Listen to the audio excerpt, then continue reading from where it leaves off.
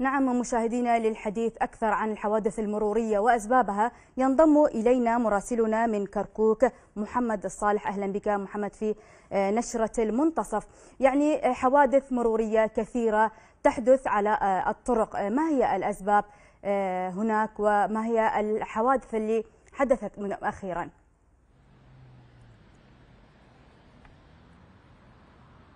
نعم تحية طيبة لكم ولمشاهدي قناة دجلة الكرام. طبعا طريق كركوك بغداد يعني من محافظة كركوك وصولا إلى صلاح الدين إلى محافظة ديالا ثم إلى العاصمة بغداد. هذا الطريق يشهد دائما حوادث مرورية حوادث سير يعني خلال الستة أشهر الماضية من الشهر الواحد إلى الشهر السادس من هذا العام تم تسجيل أكثر من 300 حادث 72 حادث هذه الحوادث كان للأسف بها وفيات وبها إعاقات دائمة. للأسف سبب هذه الحوادث هو ضعف ال يعني ضعف إجراءات السلامه الموجودة هناك، التخطيط المروري الضعيف، الإنارة عدم وجود الإنارة، السرعة أحيانا السائق يعني يصدم نتيجة عدم وجود الإشارات المرورية، يصدم بوجود مثلا استدارة سريعة خاصة التحويلات من شارع هو الشارع بجانبين لكن في بعض يعني في بعض المقاطع يكون بجانب واحد وعدم وجود علامات تحذيرية خاصة في الليل. هذه كلها من أسباب يعني تكرار الحوادث المرورية هناك. أيضا لا ننسى بأنه الشارع وعر منذ العام 2003 ولغاية العام الماضي. يعني هذا الشارع كان وعر جدا شارع طريق كركوك بغداد وهو يسمى بشارع الموت نتيجة كثرة الحوادث التي يعني تحدث هناك.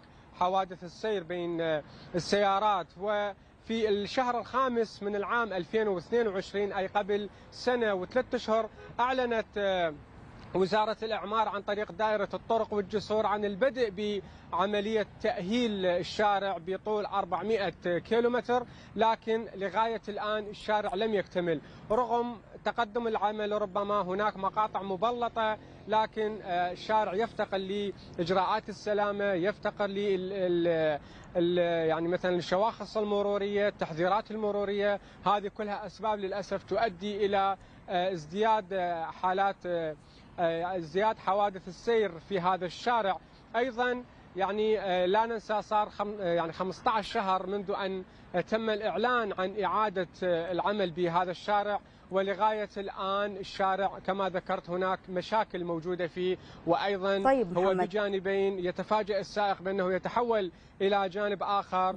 الارتفاع ارتفاع الشارع عن الأرض. يعني الشارع اليوم عندما تم وضعه ارتفع بشكل آه تم يعني تقريبا آه أكثر من 25 سنتيم إلى 20 سنتيم عن الأرض. عندما تخرج السيارة بالتأكيد يفقد السائق السيطرة على مركبته وبالتالي يكون يعني تكون النتيجة هي حادث مروري كما حدث يوم أمس قرب قضاء داقوق للأسف. يعني عائلة لم ليس لديها أي ذنب سوى أنها مررت في ذلك الشارع ليلا.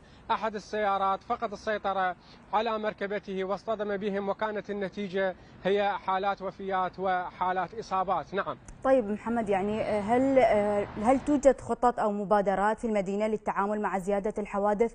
وتحسين السلامة.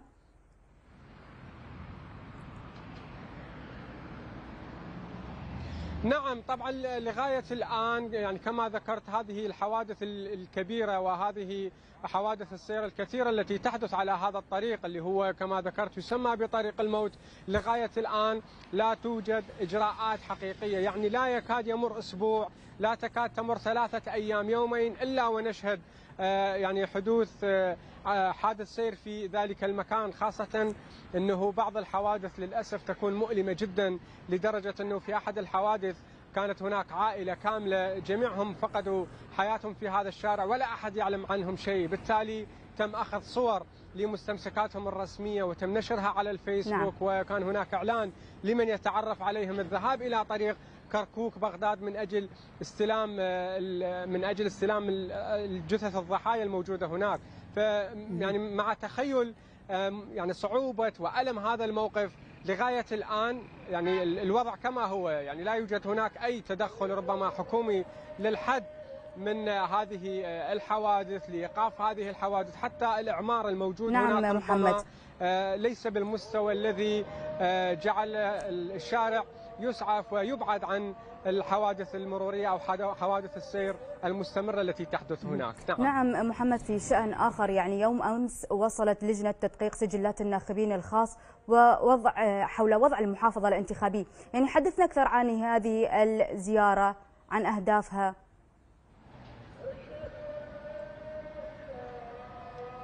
نعم. طبعا محافظة كركوك انتخابيا تشهد في مع بداية كل انتخابات ربما حالة من التجاذب السياسي بين الأطراف السياسية الموجودة في المحافظة فيما يخص العملية الانتخابية. مكتب كركوك إدارة مكتب كركوك للانتخابات مثار للجدل.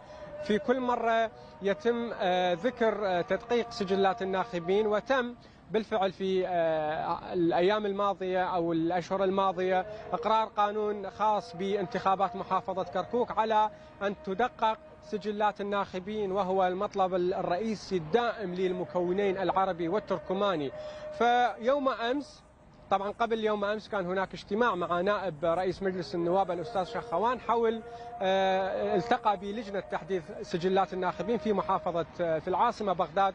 يوم أمس هذه اللجنة وصلت إلى محافظة كركوك تتكون من نواب عن محافظة كركوك ووفد من وزارة التجارة ومن وزارة التخطيط ومن وزارة الداخلية مع الوزارات المعنية طبعا من أجل تدقيق سجلات الناخبين لأنه حسب بيان أو حسب يعني تصريح لوزارة التجارة في وقت سابق أكدت بأنه البطاقة التموينية الموجودة في محافظة كركوك تم إضافة عليها بعد 2003 أكثر من 200 ألف عائلة.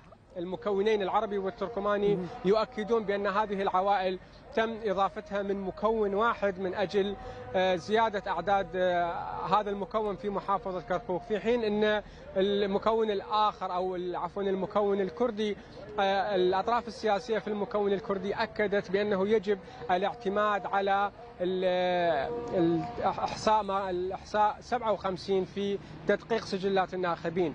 فبين هذه وبين تلك بين مطالبات الأطراف السياسية العربية والتركمانية والأطراف السياسية الكردية اللجنة ستباشر عملها يوم غد.